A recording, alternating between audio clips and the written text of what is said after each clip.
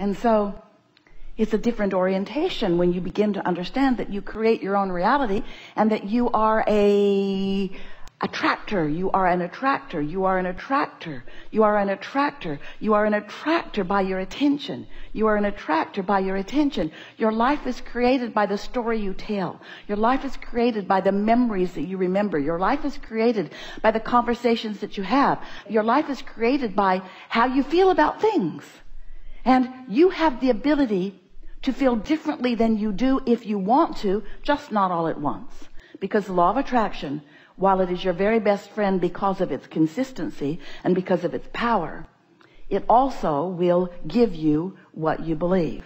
And so as you believe something, law of attraction gives it to you. And then you say, see, I knew it was true.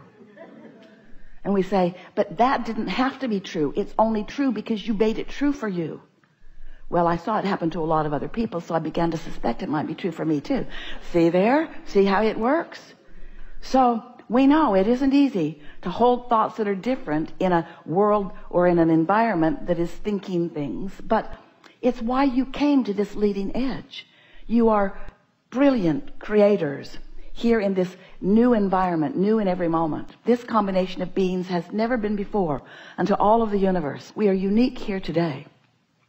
And so as you find something that you can focus upon, and you feel your way to clearer and purer and less resistant thought, you're going to discover in that clarity of thought, which means in that resistance-free thought, you're going to discover elation and joy and productivity beyond anything that you have ever experienced before.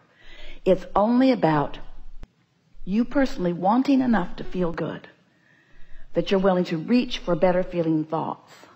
You're willing to clear your mind and start new again. That after a good night's sleep that you focus a little more deliberately on things that feel better. And the most important thing that we would like to awaken and activate within you today is your personal desire to feel good.